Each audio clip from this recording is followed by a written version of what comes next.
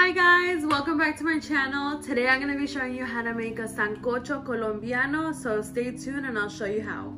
Okay, so for this recipe, we're going to be needing one tomato, make sure it's a large one or two small ones, one white onion, one bell pepper, three potatoes, two pounds of carne de res, any kind of beef that you want is totally fine. I'm using chuck roast, two pounds, and also one pound of beef bones uh, three cobs of corn, cassava, yuca, however you know it as, one green plantain, scallions, and two packs of sazon goya. You're also gonna be needing salt, pepper, some garlic, so let's get started.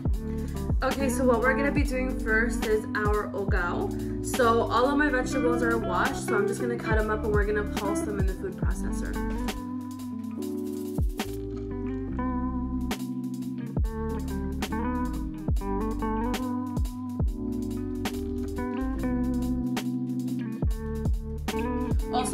Don't forget to add garlic to this. I already added it, but you definitely don't want to miss the garlic either. So let's go take this to the stove. Okay, so I just put some olive oil in my pot. Make sure the pot is large because it's gonna be carrying a lot of things. I'm gonna put my hogao in there.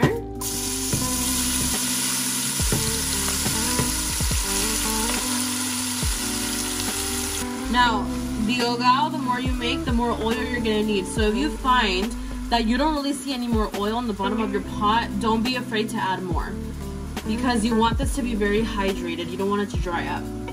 Okay, so I'm just prepping all my vegetables. I ended up adding one more plátano verde just because one would not be enough since I'm making such a big soup.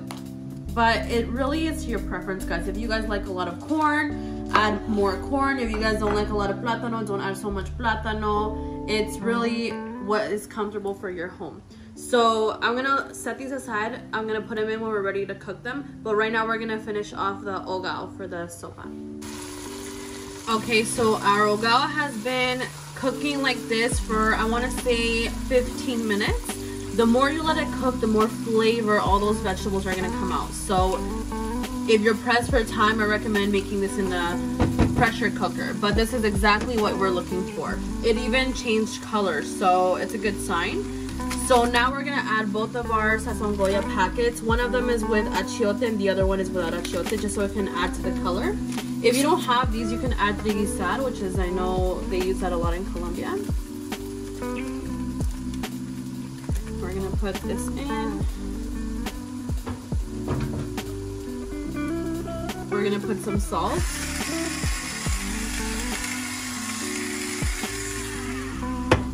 And we're gonna put some pepper.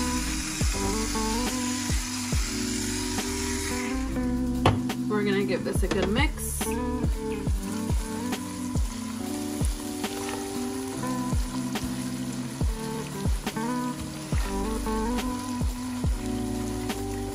I wish you guys can smell this. It smells so good. And I ended up adding a lot more oil, like around, I would say a quarter cup because the vegetables absorb a lot of that oil. Okay, so at the 15 minute mark, if your hogao looks like this, then it's ready for the meat. So I'm gonna start adding the chuck in the bottom and I'm gonna put the bones on the top. Because essentially what we're gonna do right now is we're gonna let the meat cook in that hogao and we want all its juices to come out. And this should take maybe 10 to 15 minutes. But again, the longer you let it cook, the better. So all my chuck is in the bottom and I'm gonna put the bones right on top. Good. So I'm gonna push everything down because I want everything or as much as possible to be submerged in the hogao because that's where all the flavor is to come from is the juices of that meat and I have this on medium low and I'm gonna cover it and let it cook like this for another 15 minutes okay so this is exactly what it should look like I have not added any water to this all the juices from the meat have come out, which is exactly what we want. It's changed color. So now it's ready for us to add the water. This has been sitting here cooking in its own juices for about 15-20 minutes. So we're gonna add the water now.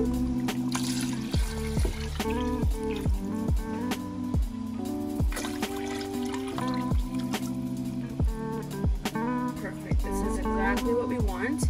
I'm not gonna add the vegetables yet just because I really wanna let this sit and cook. I'm gonna probably let it boil on low for about an hour to hour and a half. The longer we let it do that, the more delicious it's gonna taste. So be patient with it. And I'm gonna let it boil for about an hour, like I said, and then we'll come back and see how it's looking and add our vegetables. Okay, so our soup is looking really good. It's been cooking for about 45 minutes, almost an hour. So we're gonna start adding our vegetables in. So we have our yuca here.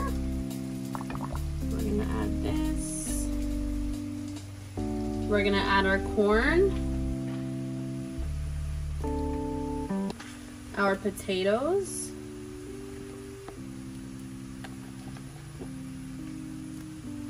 and our plátano. We're gonna give it one last mix. As you can see, this pot was the perfect size for the amount of stuff that I have in it. And this is gonna take maybe 20 more minutes to finish cooking.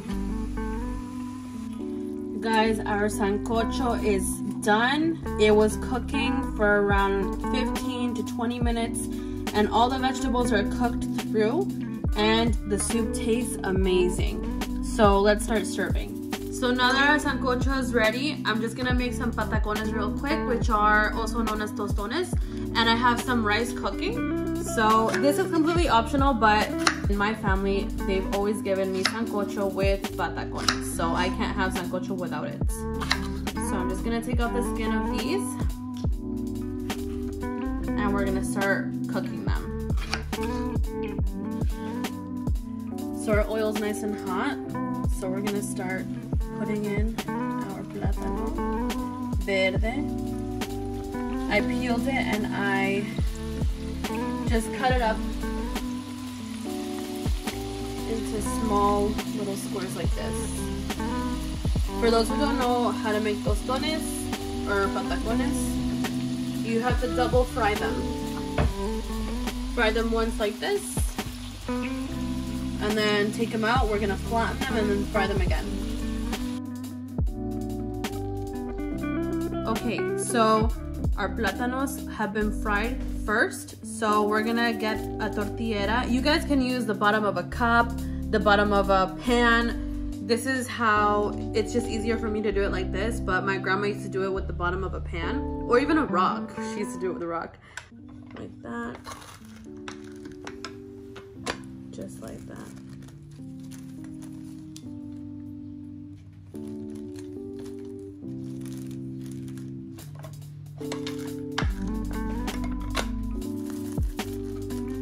Okay, so all our patacones are ready to be fried.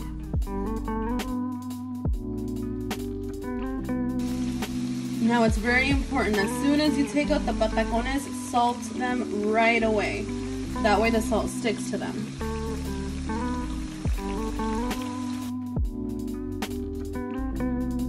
Alright guys, we are finally done our sancocho. It smells amazing. I just topped it off with a little bit of cilantro, but we have our plátano here, our potato, our yuca, the meat, and the bone and our corn. And we have our patacones here, arroz blanco y aguacate. I hope you guys enjoyed this time with me. Please don't forget to subscribe, like, and share, and I'll see you guys in the next video.